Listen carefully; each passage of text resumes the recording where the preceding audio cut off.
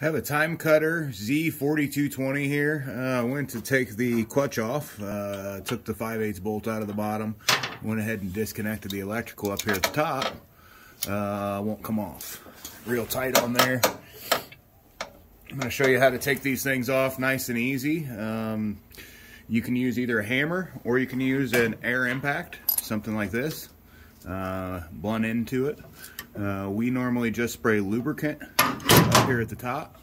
Uh, your choice of lubricant, uh, you'll, you'll want to spray up here at the top liberally, and then in between this uh, pulley here and the clutch liberally also.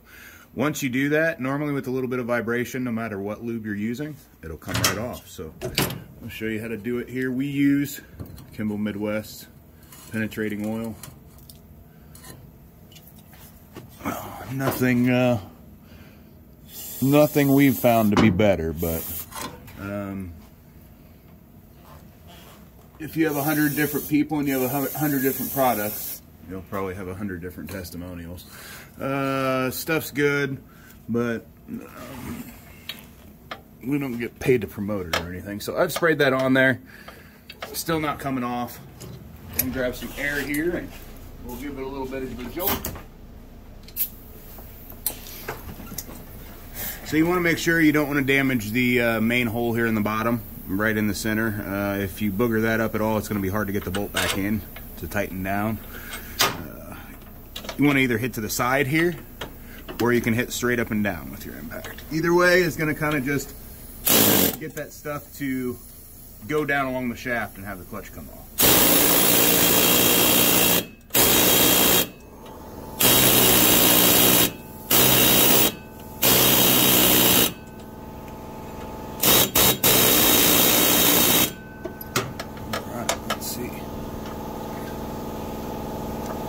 Now, see how it slid just a little bit there? I'm just pulling slightly, but it just got that lube right down in there for us, so it was able to come off.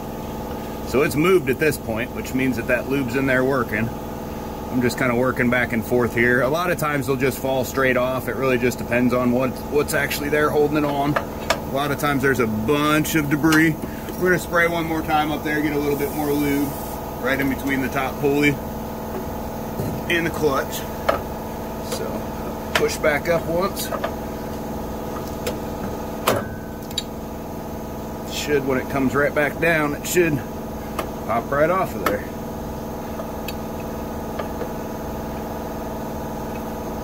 Normally a little bit easier than this. Normally come right off with that. But as soon as you get it moving, that's the main step. As soon as that thing's moving, you know it's going to be able to come all the way off. So we're going to hit it one more time. Go ahead and hit it one more time with the air.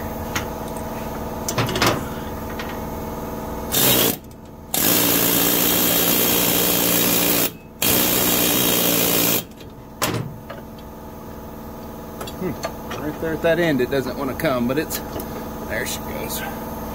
So, it was nice and dirty, but you see here that allowed it with just throwing that little bit of vibration from that impact. Uh, you could also do it with a hammer, just lightly tap.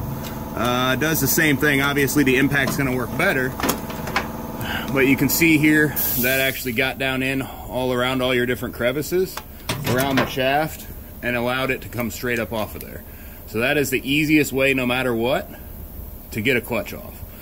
The, the easiest overall. I've tried a thousand different ways and that'll get it off every time. Thanks for watching, like, and subscribe.